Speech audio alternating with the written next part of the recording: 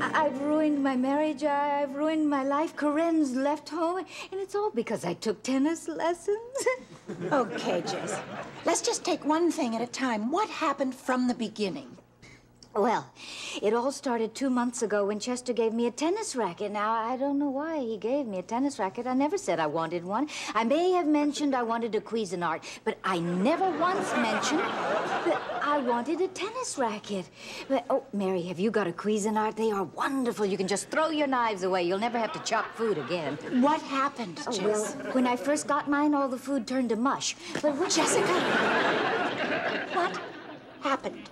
Oh, well, well, Chester gave me this tennis racket, and I, I didn't want to appear ungrateful, Mary, so I had to take tennis lessons. And because I took tennis lessons, I met Peter, and because I met Peter, I slept with him. Because I slept with him, now Chester's probably going to find out, and when Chester finds out, my entire life is going to be ruined, and it's all because Chester gave me a tennis racket. This is actually Chester's fault.